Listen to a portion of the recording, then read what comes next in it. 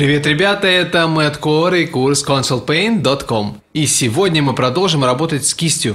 Нарисуем довольно крупный объект. Ваше задание будет скопировать вот этот геодезический купол.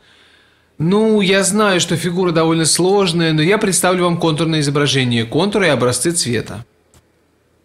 Поэтому во время работы вам нужно будет сосредоточиться на работе кистью.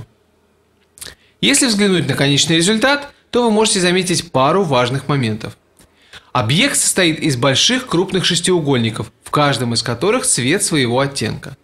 То есть, по сути, в этом объекте нет плавного обесцвечивания.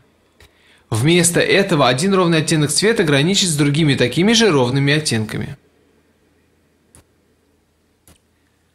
В этом задании вы будете практиковаться в рисовании больших ровных участков цвета с отчетливыми границами.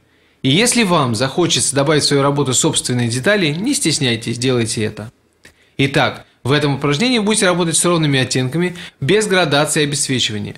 И в конечном счете вам нужно будет заполнить весь контур. Это упражнение станет отличной проверкой на то, как вы умеете работать с временными слоями и с ровными мазками кисти. Можете использовать кисть по своему выбору.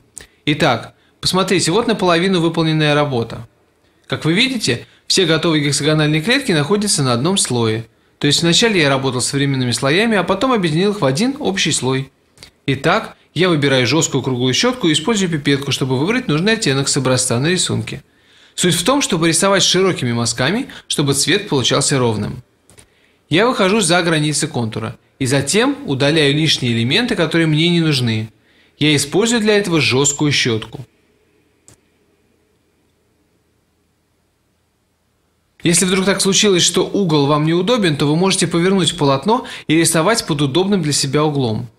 Смотрите, мои мазки чересчур выбились за границы контура, и я их удаляю.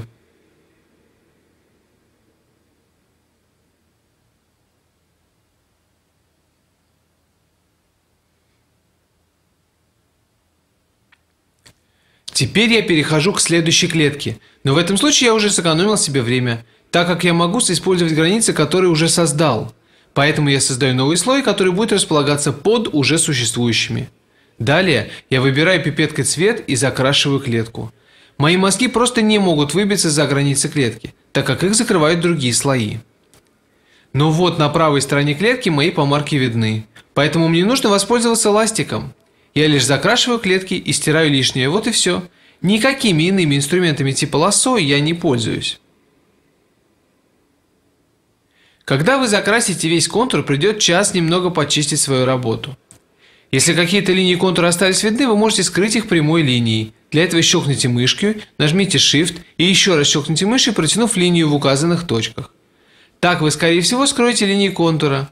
В общем, используйте зум и поработайте над этими деталями. Может быть, вам захочется сделать эти края еще интереснее, добавить им округленности, поэтому я выделяю край клетки светлой линией. Вышло у меня сейчас слишком ярко, давайте вот смотрите. Поэтому я подотру эту линию.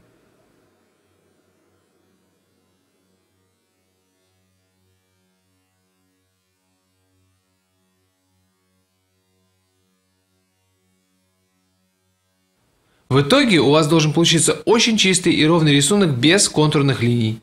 И в этой работе вам нужно сосредоточиться на том, чтобы работать ровными чистыми мазками. Кроме того, вам нужно обратить внимание на то, как цветовые поля соприкасаются друг с другом, какой будет граница между ними. И в этом упражнении вам нужны острые, четкие, аккуратные границы. И, наконец, работайте карандашом и ластиком. Больше вам ничего не понадобится. Если у вас не будет получаться наложить ровный слой, не переживайте, очень многие художники сталкиваются с этой же проблемой.